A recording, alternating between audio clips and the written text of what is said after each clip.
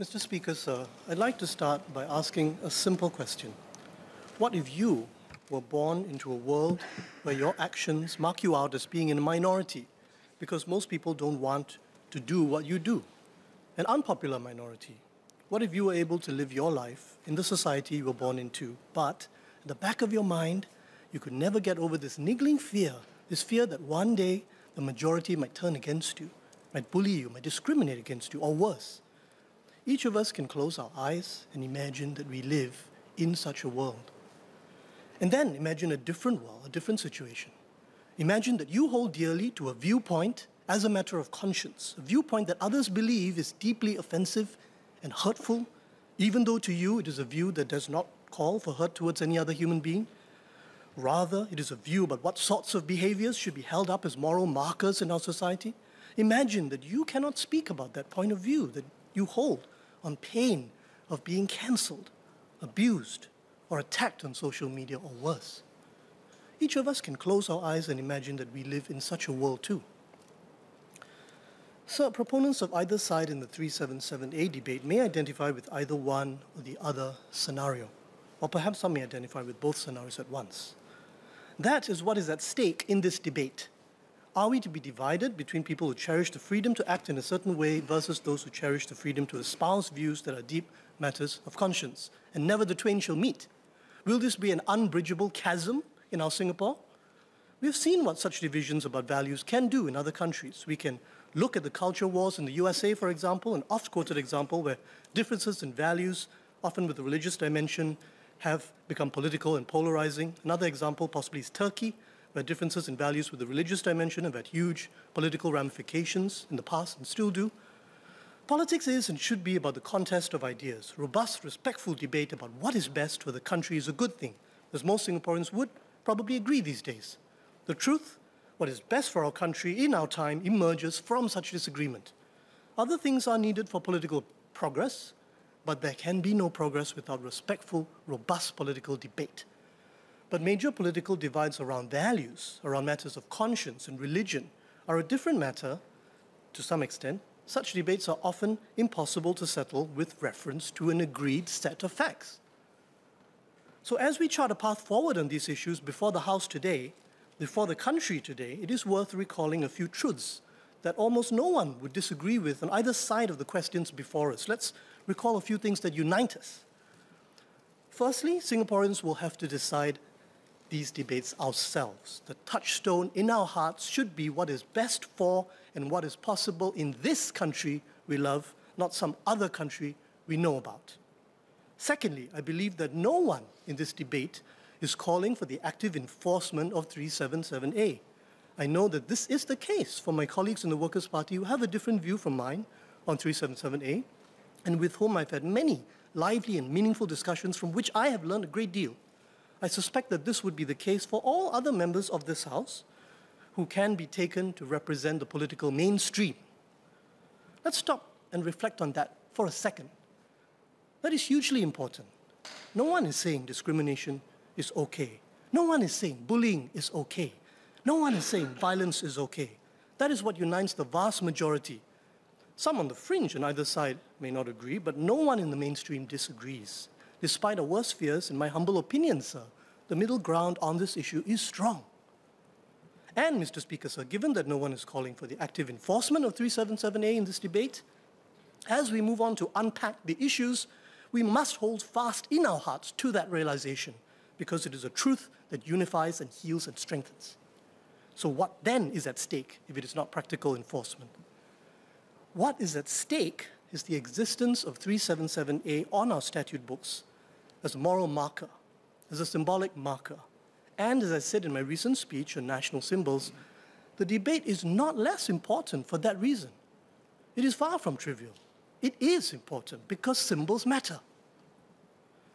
Mr. Speaker, so what divides us in this debate is whether to keep or throw out 377A in our body of law. But I would like to argue that there is another issue that divides us, which is a subtext to the debate, a subliminal factor, if you like.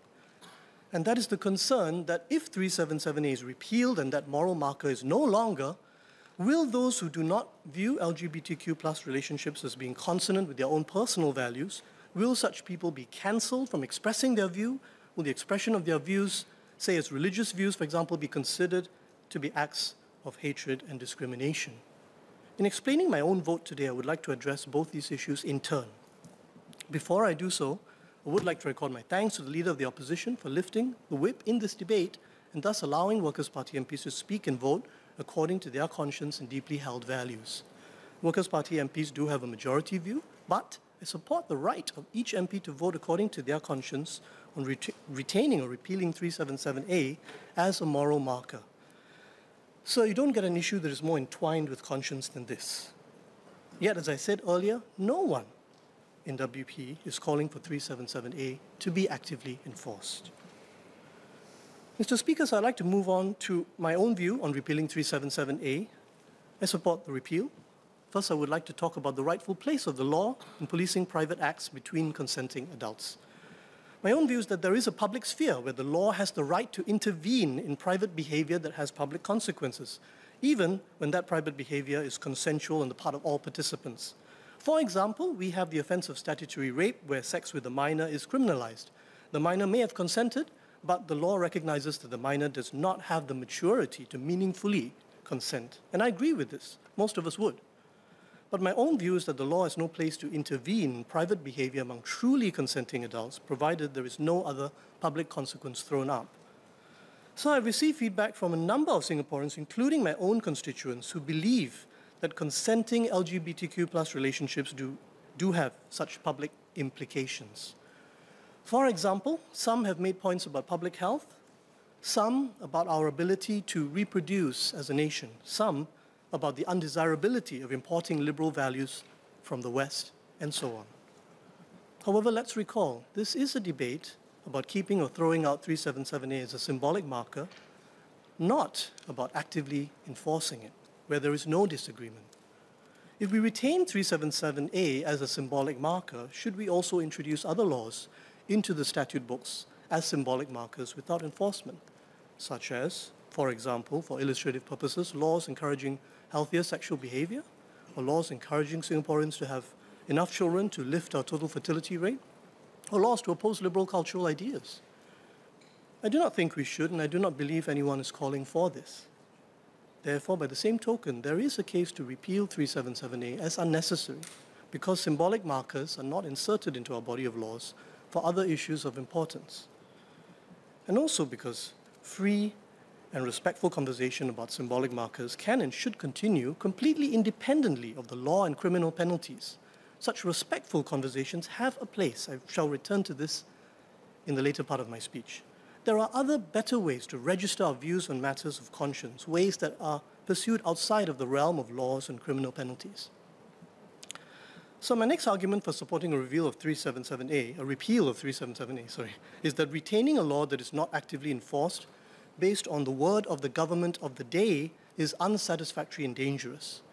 No doubt the current government has declared that it will not proactively enforce 377A, and the Attorney General has said that the public prosecutor will hew to this. But this leaves the door open to a future government and AGC to reverse its stance. More importantly, such an approach to the law, in my mind, places too much power in the hands of the government and AGC to decide what laws should be enforced and what laws should absolutely not be enforced. It leaves too much to prosecutorial discretion and too little to the rightful province of Parliament in making these laws and the courts to interpret them to keep a law that has a serious impact on the lives of many Singaporeans on the basis that it is a marker but will not be enforced by the current government is not, in my opinion, how we should go about making good laws. Markers can be created and conveyed respectfully in other ways without incorporating them into our laws. Which brings me to the last part of my speech on 377A, the part that addresses the subtext Will removing 377A mean that in the wider society, those of a religious persuasion or who are otherwise persuaded cannot express their views freely about LGBTQ plus relationships, which may be prescribed in religious faith? So the freedom of religion is protected under our Constitution. Article 15 protects the right of each Singaporean to profess, practice, and propagate their religion Freedom of speech is also protected by Article 14.1 of our Constitution. In making these arguments about 377A, I also want to make another argument. Those who question LGBTQ relationships on the grounds of religion or other considerations rooted in personal conviction should be free to express their views respectfully. As I said earlier, the mainstream of opinion among Singaporeans who want to retain 377A is not to call for its active enforcement and not to condone bullying or discrimination against LGBTQ individuals of any kind. This is a huge point in favor of the common ground, the strong middle in this debate. And I would argue that as the mirror image of that, those who question LGBTQ relationships on the grounds of religious faith or deep personal conviction should have the freedom to espouse their views respectfully, making clear that they regard everyone equally as a citizen, but they hew to their deep personal convictions on this matter. They should not be cancelled, they should not be demonized, to criticize a choice someone makes in their personal life is not tantamount to criticizing, denigrating, or disenfranchising that person. But this depends, of course, on how that criticism is made. I recognize that. Already as it stands, some religious teachings do constitute criticisms of certain acts not deemed illegal. Likewise, those of a different persuasion, those who believe in LGBTQ equality, have the right to respectfully criticize opposing views.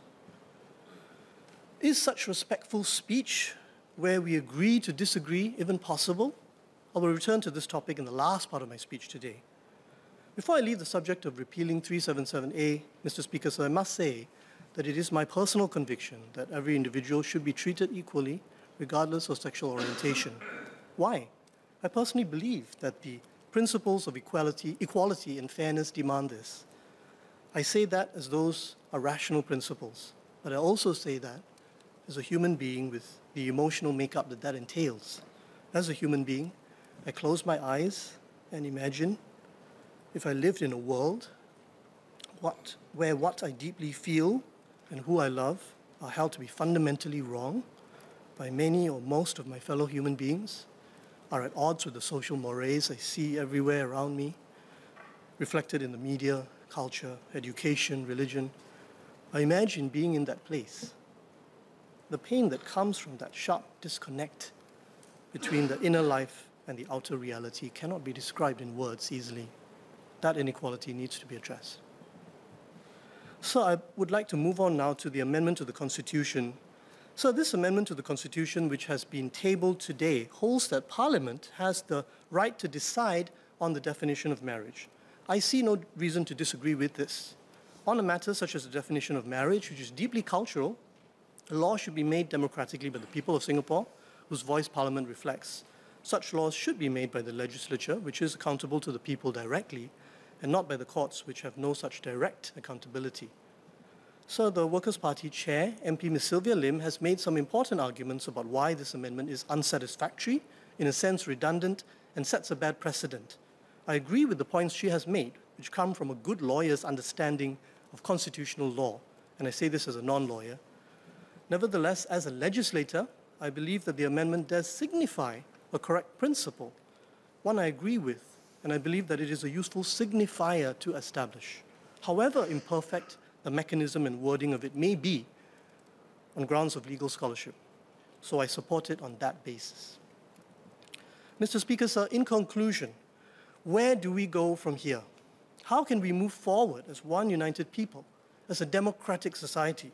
Surely the answer to that question is to cultivate the ability for Singaporeans to talk to each other respectfully and rationally, to decide on important matters that way, to decide our politics that way, to decide our laws that way, to agree to disagree that way, when perfect consensus cannot be forged, as it cannot on a range of issues, not only 377A. For example, in this House, we debated the issue of hiking GST versus alternative revenue raising mechanisms that the Workers' Party put forward. We did not find consensus, but there were, all, but there were points of agreement. But in that GST debate, the debate turned on rational argument and ultimately philosophic considerations of a secular nature. Here, the debate comes down to matters of deep personal conviction that are less easily resolved with reference to agreed facts. Will we succeed in cultivating the ability to respectfully disagree on such matters where much of the rest of the world has failed? Will we succeed in preserving our unity and not allowing these disagreements that are so hard to resolve by debate to become political rifts. Sir, we will not. Not completely, and not by making straight line progress. These views are very deeply rooted and passionate on both sides. But can we succeed in moving the needle towards this ideal so that more and more and more of our national discourse gradually becomes like this? Not in a straight line, maybe a zigzag, messy line, but moving more and more towards a dominant paradigm that says that we can respectfully agree to disagree. And tomorrow we will still be fellow Singaporeans, still be brothers and sisters, still defend the political center and push those spewing hatred, bigotry, and violence to the fringes? Can we hold different views that may never be reconciled and have those views respectfully played out in civil discourse, bearing in mind the place of our laws and the place of freedom of speech and religion in a healthy balance, bearing in mind that we are all citizens equal before the law. Can we move forward by respectfully agreeing to disagree without demonizing the one we disagree with, but embracing him and her as our fellow citizen, our colleague, our brother, and our sister? Can we do this, sir? I think we must. I don't know for a fact that we can or will, but I do know this. From my discussions I've had with my Workers' Party colleagues who have expressed or will express different views from mine in Parliament today on 377A, I would like to say that I am optimistic that Singapore can do it. Why? Because my colleagues and I strive together for a democratic society. We work alongside each other. And on this issue, we debated, discussed, learned from one another, agreed to disagree with respect and humility and affection, and we decided democratically. Thank you.